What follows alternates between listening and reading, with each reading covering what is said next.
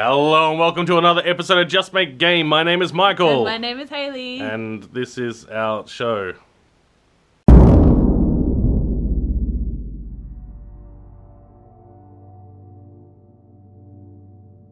This month we made game. It is very fun to make game, also nice. Here is Haley tell more about make game.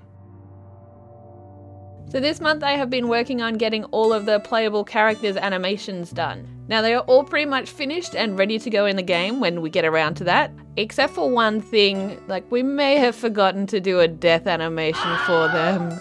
Oops. At the moment, there are 17 different playable characters, and we might even add a couple more if we think of any other cool characters to put in. As we have said before, they will all start with their own unique stats, weapons, and special abilities. You'll start the game off playing as a soldier character, and then you'll unlock the other characters as you progress through the game. I'm also working on writing a tiny little bit of a bio for each of the characters, just to give you a bit of a backstory to where they came from and how they got dragged to the island. So watch out for that on our Twitter and our Facebook, or if you're one of our awesome patrons, you'll get that a little bit earlier on Patreon. So doing these animations pretty much took up my entire month because there are a lot of them to get through. Next, I'll be doing that death animation that we forgot about for each of the characters. Then I might start doing some more objects for the other level that we're working on, or maybe some more animations for the god, but who knows? Our to do list is still a mile long. We are just slowly chipping away at it and getting things done.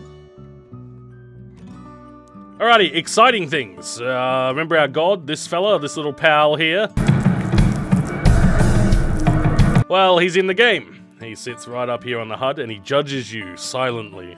In the end, he won't be silent because you have sound effects too, but at the moment, it's silently, silent judging. Um, he reacts both positively and negatively to what you do, and he does that in a passive and active fashion. And it's all based around what actions you, as the player, take. There's a whole bunch of uh, debug junk on the screen at the moment, and that gives you a bit of an idea as to how it actually works. At the moment, he has three separate mood sort of sliders, you can think of them. They go from negative 100 to positive 100. And uh, things you do as a player influences these sliders, and the sliders influence other sliders. And there's a whole like web of things that all act upon each other and end up with these final numbers. There's a lot of things going on under the hood. Uh, at the moment, the range of actions which uh, actually sort of give results are purposely limited so I can debug things easily before making things overly complex and then having no idea why insert thing isn't working. But at the moment, it's kind of simple. Um, although the algorithm behind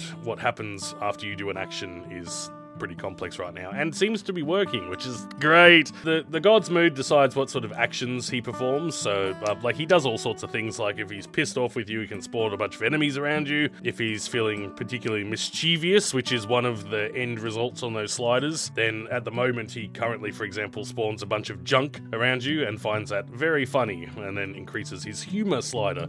So he's sort of yeah, it's it's going to be pretty dynamic, and he's um, hopefully going to be a little bit of a pain pain in the ass, but still somewhat fun as well, because fun's the main thing. Those who have been following the series for a while will remember uh, the whole heap of animations that Haley has done for the god. Uh, the reason we've got that is so that you can actually just look up in the corner and get an instant idea of how the god is feeling towards you. Um, there's also going to be audio cues as well, so that you know you don't have to constantly keep glancing up in the corner of the screen, but he'll the idea is that you always know what's going to be in store for you and you have an idea of how he's feeling and then based on that what he's probably going to do to you and there's nothing you can do about it apart from just sit there and stew because it's it's coming. I've also gone and rebalanced all of the melee weapons. Uh, I've altered the speed, damage and reach values for each so that the um, playing field between the different types is a bit more level. Um, previously there wasn't distinct advantages and disadvantages to each type. Uh, things like the swords uh, previous to balancing were just better than every other weapon. Spears were great, daggers were terrible. So um, I've gone through and sort of balanced it out because I want the the idea is that sort of any loadout you pick in terms of melee, ranged, and special ability, all are viable to some degree. Like they might not be optimal, but you can sort of get through the game regardless of what you pick. You want to do it with you know just like brass knuckles and a sling, and your special ability is you can teleport, then go for it. Or you want to run around with like an axe and a shotgun and you know, do like a self buff rage, berserker rage sort of thing, then they are both equally viable sort of playstyles.